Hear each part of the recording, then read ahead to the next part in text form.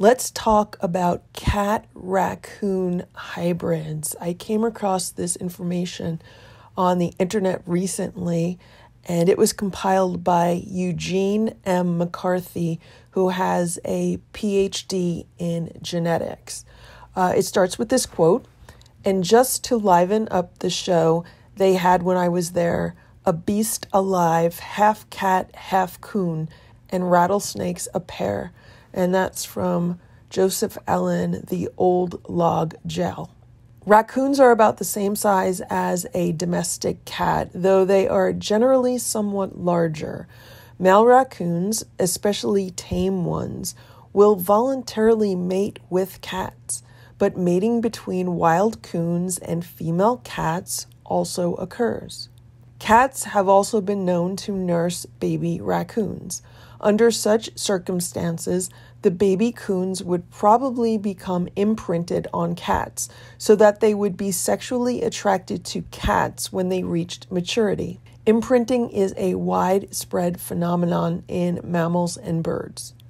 So there is no absolute physical or behavioral barrier that separates the two. But the question of compatibility of their gametes remains.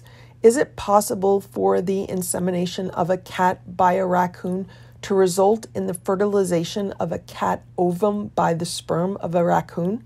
And can any of the resulting zygotes develop into cat raccoon hybrids? One can only answer such questions by surveying reports.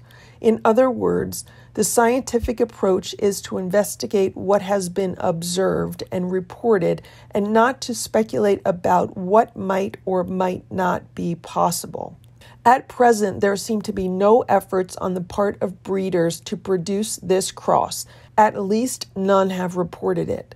However, Older reports, mostly from the 19th century, suggest that it is in fact possible to produce cat raccoon hybrids and that the Maine Coon breed of cat is derived from this cross. To confirm this conclusion, it will be necessary to replicate this cross under controlled conditions and or carry out molecular genetic tests on putative hybrids. Until then, reports such as those quoted below constitute the only information available. Cat cross raccoon is an interfamilial cross. That is, it's a cross between animals belonging to two different families of the same taxonomic order. There is at least one report about this cross that appeared in a scholarly publication, The American Naturalist is a monthly peer reviewed scientific journal published by the University of Chicago Press on behalf of the American Society of Naturalists. The October 1871 issue of that publication, Volume 5, Number 10, pages 660 to 661, contains the following account authored by Thomas Wentworth Higginson Hybrid between cat and raccoon. I saw yesterday, May 2nd, 1871, the most interesting hybrid animal I ever examined. And hasty as the examination was, it may be worth mentioning. Passing through Taunton, Massachusetts, I saw in the doorway of Mr. Dunbar's bookstore what struck me at first as being the handsomest cat I had ever beheld. The second glance revealed an unmistakable look of wildness, and for a moment it seemed to me that it must be some creature of the squirrel kind, at any rate, something else than a cat. On inquiry, I found it to be the offspring of a domestic cat and a tame raccoon, kept in the same family in China, Maine. I was informed that there had been several litters of these hybrids, and Mr. Dunbar had before owned one of a previous litter. That had been stolen, and he had obtained this younger one, now seven months old, from Maine. She is larger than an average cat of that age and is at once distinguishable both in shape and color. The color is a dark tawny, brindled with streaks that are almost black on body and legs and more obscurely on the tail. The underside of the body is lighter, as you will see from the matted hair which I enclose, and which was cut from the underside of one of the hind legs. She is just now shedding her hair. All the darker tints are quite unlike any that I ever saw in a cat. In shape, she is somewhat slender. I should say, though, this is concealed by the great length of the hair. The legs seem longer than a cat's, and there is something peculiar in her gait as if they were set on differently. Her walk is neither plantigrade nor yet quite feline, while it is easy and not ungraceful. I noticed no peculiarity in the paws, but the owner said she used them unlike a cat, more like a squirrel. The head looks more triangular than a cat's, possibly from the pointed and tufted ears, which are quite peculiar. The expression of the creature's face was so wild and formidable that I actually hesitated to touch her, but found her gentle and caressing. Beyond even the habit of cats, she seemed more sympathetic and human instead of less so, which surprised me. But the chief beauty was in the hair, which I found to be very long and silken, with a softness such as I have rarely felt in any quadruped except at a very early age. This characteristic attains its greatest perfection in the tail, which does not in the least remind one of a cat's, but is as bushy and ornamental as a squirrel's, broad and waving and graceful. I am not well acquainted with the raccoon, though I have seen it alive, but it seems a remarkable and interesting circumstance that a hybrid should have a softness and silkiness of coat beyond that of either progenitor. The owner has had this beautiful animal but a few weeks and had the elder specimen of the same race but a day. He says that this one is ordinarily quite gentle and docile, but that on one occasion, being taken up by the tail, she turned upon the aggressor with a fury far beyond that of a common cat. She also never retreats before a dog, and the dog usually retires. She feeds on milk and meat like a cat, but has never yet caught a mouse, perhaps for want of opportunity. She is peculiarly nocturnal in her habits, is quite drowsy by day, which I also noticed, but becomes playful at night. Raccoons are predominantly nocturnal, unlike cats, and is always found rambling about the large shop in which she is confined. Mr. Dunbar states that the other specimen of this breed, which he previously owned, resembled this one in color and shape, but not in the length of hair, having more resemblance in that respect to the common cat. It would be exceedingly interesting to compare the different offspring of this strange union. I was unable to ascertain which of the parents, cat or raccoon, was the female, nor could I obtain the name of the person in China, Maine, beneath whose roof these singular hybrids were produced. Possibly you may have some correspondent in that locality who could give more accurate information. If it were possible to overcome, in this case, the ordinary infertility of hybrids, I am confident that there would be quite a demand for animals of this breed for their beauty alone. T.W. Higginson, Newport, Rhode Island. On the next page of the same issue of The American Naturalist, there is a letter to Higginson appended from John Whipple Potter Jenks the director of Brown University's Museum of Natural History. Dear Sir, your favor was received on Wednesday night, and Thursday morning I went over to Taunton to see the cat. It is certainly a hybrid, and I am very confident Mr. Dunbar is right in believing it is to be a cross of the raccoon and cat. First, its tail and markings and bushiness is strongly coon, as well as the markings of its fore and hind legs and paws. Second, its walking gait, particularly in handling of its hind legs, is purely coon. Third, its disposition is astonishingly wild, intermingled with tame. Fourth, I understood Mr. Dunbar that his brother in law brought the creature from China, Maine, and was assured by the man of who he obtained it that it was an intentional hybrid of the coon and cat and not accidental, which to my mind makes it much more probable.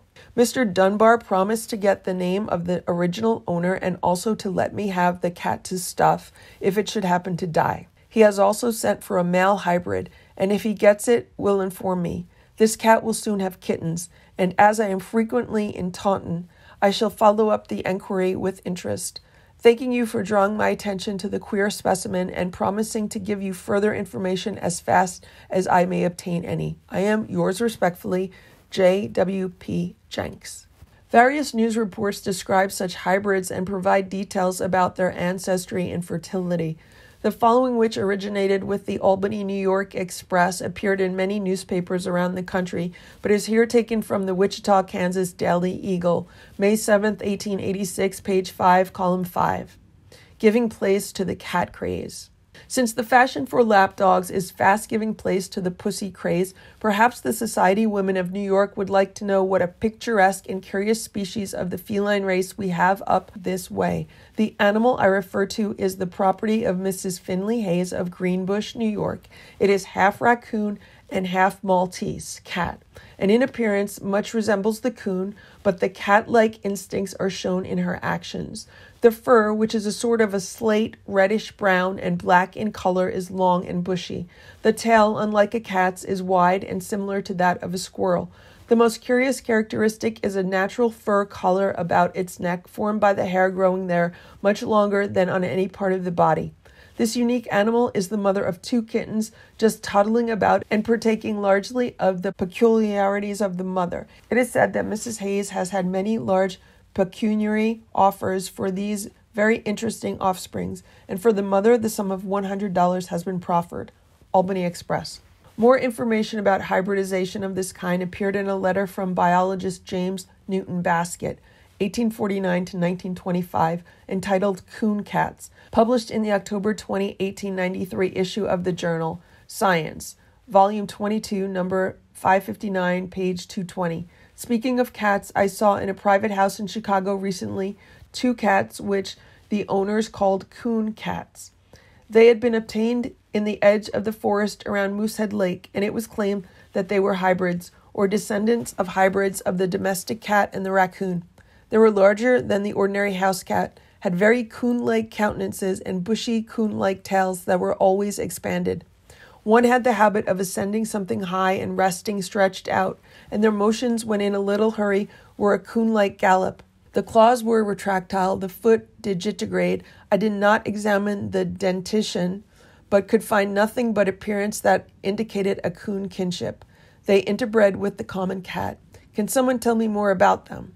James Newton Baskett, Mexico, Missouri. An obituary of Baskett, Mexico, Missouri Weekly Ledger, June 18, 1925, stated that he was one of the most well known writers of popular scientific works. He became internationally known for his work in comparative vertebrate anatomy and especially in ornithology. He was a graduate of the University of Missouri, taking the degree of PhD in 1872. And here's an article that says, Not a racket, a rat cat. Utica, Mugsy is no ordinary kitten. In fact, Mugsy is a rarity, something virtually unheard of, but she seems to be proud of her heritage, for she's half cat and half raccoon. The little pet, just try to pet it, romps and plays in the home of Gordon Kohler, 1113 Lead Street, who bought Mugsy from Old Forge where the kitten was born. Its mother is a cat which apparently answered the call of the wild and trooped for many weeks with several raccoons. Two months ago, Mugsy made her debut on Earth. When Mugsy meows, her voice is shrill, like the plaintive wails all normal kittens emit. But if she happens to be in a raccoonish mood, if there is such a thing, Mugsy gives vent to a low, guttural sound like a coon. Outwardly, Mugsy resembles a common kitten, but closer inspection reveals her long, shaggy, brownish black fur and an extremely pointed nose typical of a coon. She will nip a curious person who tries to stroke her coat. Her diet must be diversified. She'll lap up milk in kitten fashion, or she'll display the appetite of the coon, delighting in vegetables despite her tender age. Like her feline brethren, Mugsy is a capable mice catcher. And that is a report about a cat raccoon hybrid from the Ithaca Journal, October 10th, 1933. And here's a notice about a cat raccoon hybrid from Huron, South Dakota, uh, from the evening Huronite, September 7th, 1939, page 8. Game and fish officials believe the freak on display in one of the tents on Midway to be a hybrid of some sort. Its appearance gave evidence of its being a cross between a raccoon and a house cat. It was found near the James River in southeastern Beadle County and at the present time is owned by B.W. Barnaby of Mitchell. An additional point of interest is Wikipedia's rejection of hybridization between cats and raccoons as an explanation of the Maine Coon's origin. Thus, they say that one theory of accounting for the origin of the breed, which is trait based, though genetically impossible, is the idea that the modern Maine Coon is descended from ancestors of semi feral domestic cats and raccoons. But what is truly impossible is to know for sure in advance whether a given cross will produce hybrid offspring. Claims like Wikipedia's have often been made about crosses that turned out to be perfectly feasible once actually tried. One example among many is the cross between a domestic pig and a babirusa, Professional zookeepers who were convinced that such a cross was impossible placed a domestic pig together with a babirusa in a compound at the Copenhagen Zoo and were amazed when the pair produced perfectly viable hybrids. Claims that Maine Coons are cat raccoon hybrids abound in the older cat breeding literature for example, in the April 27, 1927 issue of the Breeders' Periodical Cat Gossip, London 1926 to 1932, the following is stated.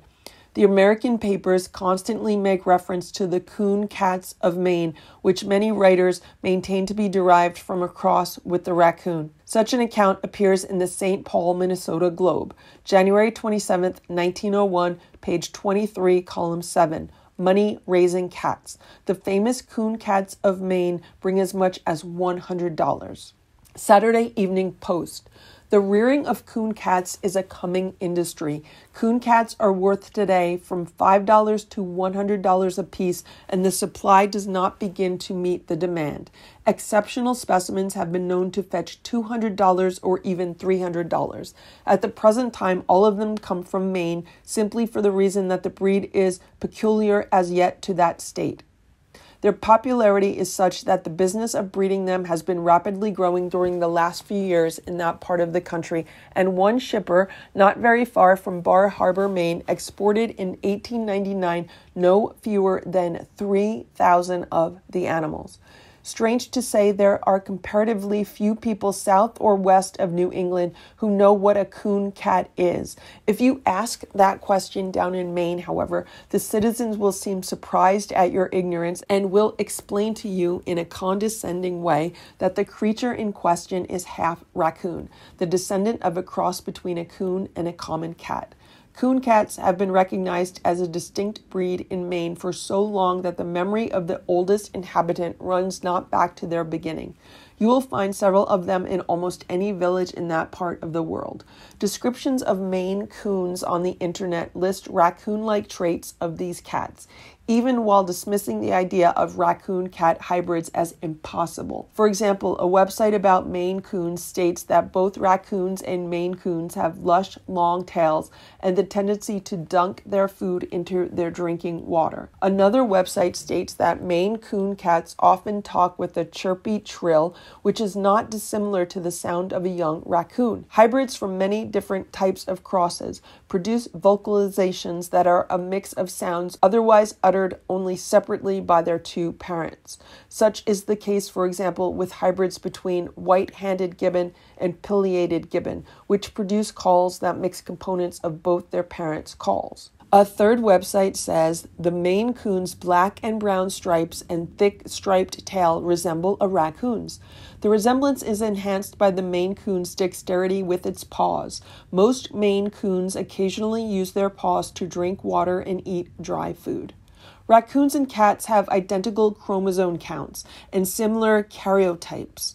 Thus, Stanton et al. 1993, after comparing the chromosomes of Felis catus with those of P. lotor, stated, We propose a standardized karyotype for the raccoon and compare it with that of the domestic cat. Numerous chromosomes 12 have similar and sometimes identical G banding, and 14 chromosome pairs have remained intact. Other chromosomes apparently differ by Robertsonian translocations and inversions. The conservation of these karyotypes is remarkable. Nevertheless, all too often those unfamiliar with hybridization dismiss the possibility of a cross without empirical evaluation. The only unprejudiced way of resolving this issue in the present case is to mate a raccoon with a cat and then to see whether anything results. or to carry out artificial insemination. Genetic evaluation of existing Maine Coon cats in connection with this question might be difficult because if they actually are of hybrid origin, they are probably the products of repeated backcrossing to cat. Later generation backcrosses are difficult to detect via genetic techniques. A brief notice about a cat raccoon hybrid appeared in the Lehi, Utah banner, December 27, 1906, page 5. Ivor Carlson, a rancher living near Kendrick, killed an animal, the species of which is puzzling. The curious specimen looks as if it might be half raccoon and half cat and weighs about 20 pounds. Another probable case was reported in the Indianapolis, Indiana News, December 7, 1934, page 13, column 3. Brownstone farmer kills strange animal. Brownstone, Indiana, December 7th. A strange animal which no one has been able to classify has been killed by Laurie Cooper, farmer living near here. The animal is grayish black and measures 42 inches from tip of nose to tip of tail. Its weight is about 35 pounds. The head is like that of a cat, while the tail is encircled with rings like that of a raccoon. And the following notice, which appeared in the Brooklyn, New York Daily Eagle, April 5th, 1870, page 1, column 8, obviously describes a cat raccoon hybrid if the report is true. An astonishing animal, dead and stuffed, is on exhibition at St. Louis.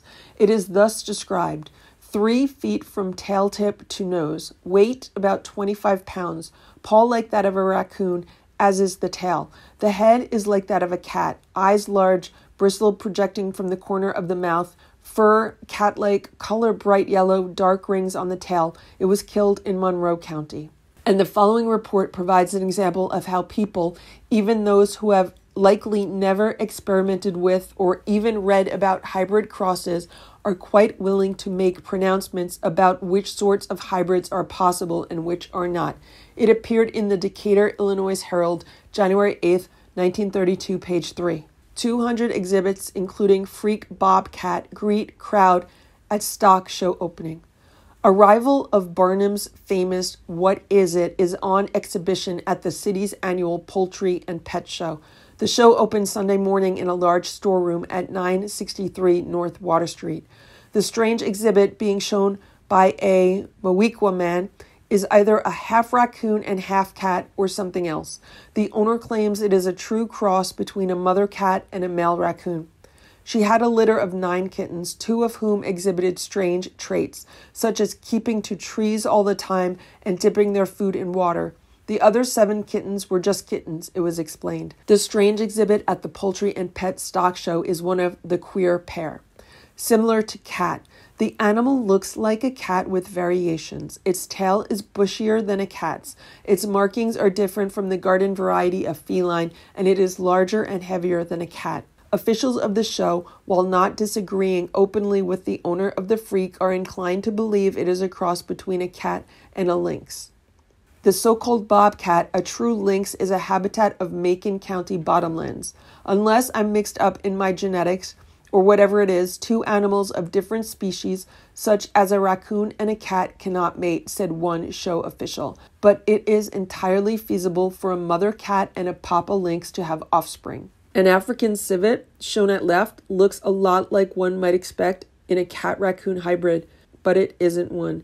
From just its face, right, it might be mistaken for a raccoon. And this information came from a website called macroevolution.net. And I'll post the link to this article in the description below this video if you would like to check it out for more information. They also include links to videos and photos, so if you'd like to check those out, uh, visit the link below. I think this is an interesting topic and definitely something to think about. Thank you for watching this Lucky Ferals video. If you enjoyed it, please give it a thumbs up. Please subscribe if you'd like me to post more videos, and please make sure to check out these other videos that were selected especially for you.